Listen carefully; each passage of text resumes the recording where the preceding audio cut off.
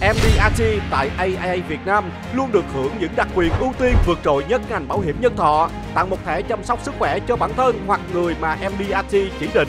Hưởng MDRT đạt sớm và 100% tiến độ hàng quý tùy theo memo cụ thể của chương trình, được ưu tiên các dịch vụ thẩm định và phát hành hợp đồng, hỗ trợ cung cấp thông tin phản hồi về các ca bồi thường, được ưu tiên phục vụ tại quầy dịch vụ khách hàng, được ưu tiên tạo nguồn khách hàng tiềm năng, gia tăng doanh số theo từng chương trình cụ thể của công ty.